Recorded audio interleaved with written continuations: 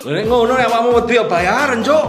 Tapi aku gak ada duit. Lah gak ada duit berarti ya gak usah dibayar, Bos. Lah, nek gak dibayar iku debt collector iki lho, aku njaluk solusiku.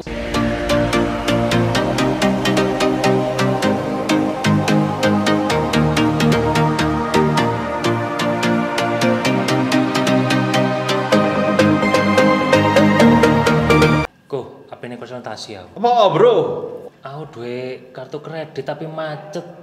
Iki opo anu niku? Gampang, kartu macet ya solusine dibayar toh. Ya nek iku ya wis ket biyen ku, tapi masalahnya iki duwite iki ra ono. Oh alah, nek duitnya ra ono ya ora usah dibayar. Nek gak dibayar, debt collector iku aduh, gua pleki. Oh, ya nek ngono bayaran. Lah bayar ambek opo? Aku gak ada duit kok. Lah gak ada duit ya solusinya ora usah dibayar. Loh, nek gak dibayar aku ya wedi. Sing telepon, sing marani ndek kantor. Lah iku terus ya apa solusine? Lah nek ngono nek awakmu wedi ya bayaran, Cuk.